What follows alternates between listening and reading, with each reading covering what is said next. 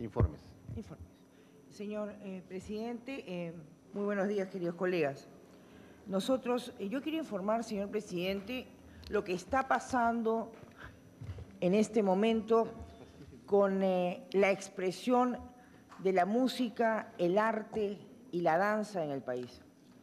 Y viene a colación, señor presidente, la expresión de este informe porque se pretende vulnerar constitucionalmente los presupuestos de la Escuela de Bellas Artes, de la Academia del Folclor, la Escuela Nacional del Folclor, del Conservatorio Nacional de Música, de la Escuela de Arte Dramático y la Escuela Nacional de Ballet. Se pretende a través de un decreto supremo 001, ignorando toda la jerarquía jurídica, se pretende dar un brochazo y decir, ese presupuesto de esas cinco instituciones pasan a mi ministerio. Es el primer decreto supremo del Ministerio de Cultura. Primer, primer decreto supremo que debió fomentar la formación educativa de los, de los estudiantes. Y sin embargo lo que quiere es defenestrar, diluir el presupuesto.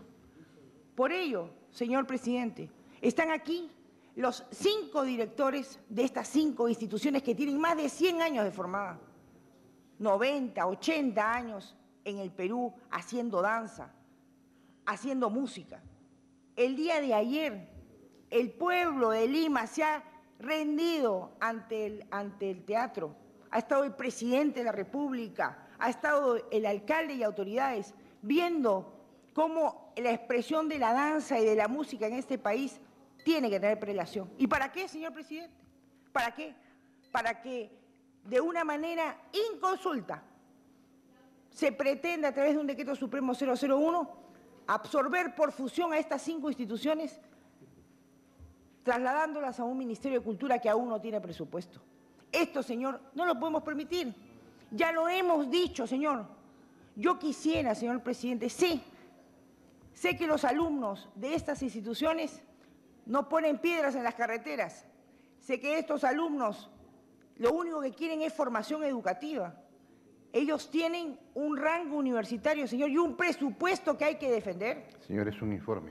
Por eso, señor, estoy informando. Yo solicito, señor presidente, que venga aquí el ministro de Cultura y que diga la derogatoria de este decreto supremo 001 que vulnera no solamente las leyes que hemos dado en este Congreso bajo la presidencia de Luis Alba Castro, la 29292, que le dio rango universitario a la Escuela Nacional de Música y a la Escuela de Bellas Artes, es que venga, señor, a la brevedad posible, que venga el ministro de Cultura a que diga que va a derogar este decreto supremo, que es inconstitucional.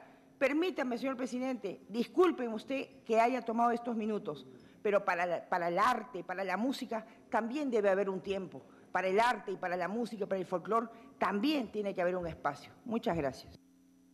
Consulto a los señores congresistas si el informe de la señora Sacita pasa a orden el día, el día de hoy. Los que estén de acuerdo, por unanimidad.